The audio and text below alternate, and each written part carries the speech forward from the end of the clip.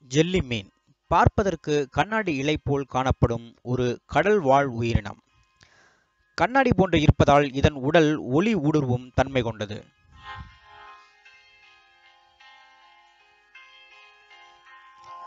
மேலும் இதனுடைய உடல் கூடை அல்லது தொப்பி அல்லது மணி போன்று காணப்படும். இதில் பல வகைகள் உண்டு. உடலை ஒட்டி பதினாறு விழுதுகளை கொண்டது.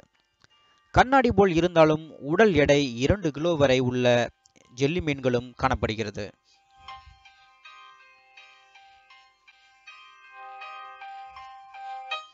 இந்த ஜெல்லி மீன் வகைகளில் லைன்ஸ் மேன் என்ற ஒரு வகை ஜெல்லி ஃபிஷ் தான் மிக பெரியது. இதன் விழுதுகள் என்று சொல்லக்கூடிய கொடுக்குகள் முப்பத்தி ஆறு புள்ளி ஐந்து மீட்டர்கள் வரை நீளம் கொண்டது.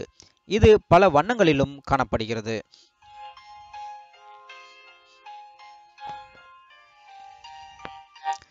இந்த விழுதுகள் போன்ற அமைப்பை கொண்ட கொடுக்குகளில்தான் விஷத்தை சேமித்து வைத்திருக்கும். இந்த விஷம் கொடுக்குகளில் உள்ள குப்பையில் இருக்கும். இதனால் இந்த ஜெல்லி மீனை மற்ற உயிரினங்கள் உரசினாலோ அல்லது இது மற்ற உயிரினங்களை தாக்க நினைத்தாலோ கொடுக்குகளில் உள்ள விஷக்குப்பிகள் திறந்து அந்த உயிரினத்தை தாக்கி மரணத்தை ஏற்படுத்தும்.